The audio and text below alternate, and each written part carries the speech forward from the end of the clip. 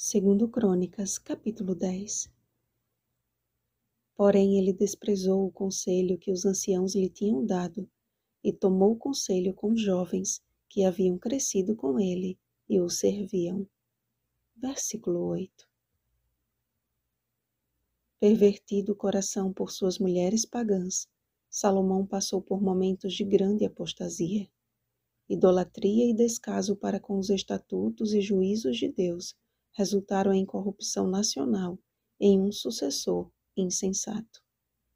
De um reino próspero e admirável para uma nação machucada e dividida. Roboão assumiu o trono com aspirações egoístas e imaturas, e desprezando o conselho prudente dos anciãos, acatou ao estúpido conselho dos jovens que haviam crescido com ele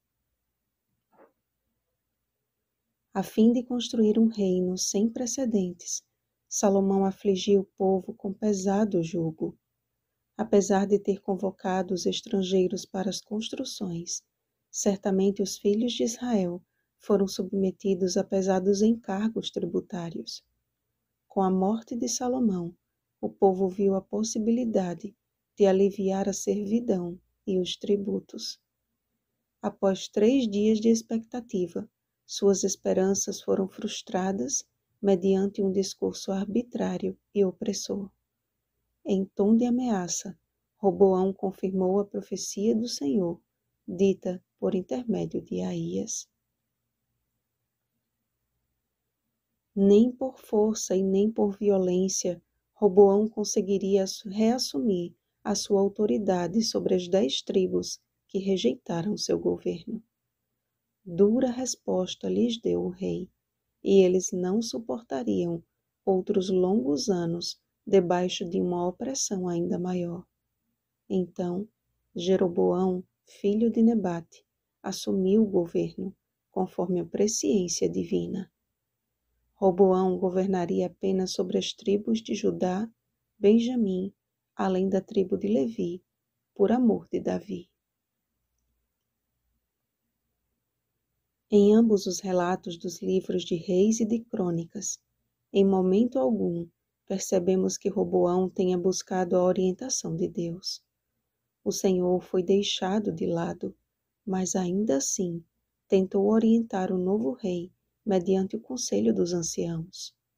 Oportunidade que foi completamente ignorada. Meus amados, o Senhor nos deixou tudo o que precisamos saber escrito em Sua palavra. Dar créditos a conselhos humanos, sem prová-los segundo as Escrituras, é no mínimo insensato. Pois há caminho que ao homem parece direito, mas ao cabo dá em caminhos de morte. Provérbios capítulo 14, versículo 12. Temos em mãos a santa palavra de Deus seus conselhos estão à disposição de todos os que, com humildade, clamam em orientação pela orientação do Espírito Santo. Não façamos como Roboão, mas como os bereanos. Ora, estes de Bereia eram mais nobres que os de Tessalônica, pois receberam a palavra com toda a avidez, examinando as Escrituras todos os dias para ver se as coisas eram de fato assim. Atos capítulo 17, versículo 11. Portanto, o melhor conselho é aquele que tem a infalível autenticação do assim diz o Senhor. Como os bereanos, perseveremos em examinar a Bíblia todos os dias e Deus nos concederá sabedoria para tomarmos as decisões mais acertadas vigiemos e oremos. Bom dia, bereanos atuais. Oremos pelo batismo do Espírito Santo. Oremos uns pelos outros.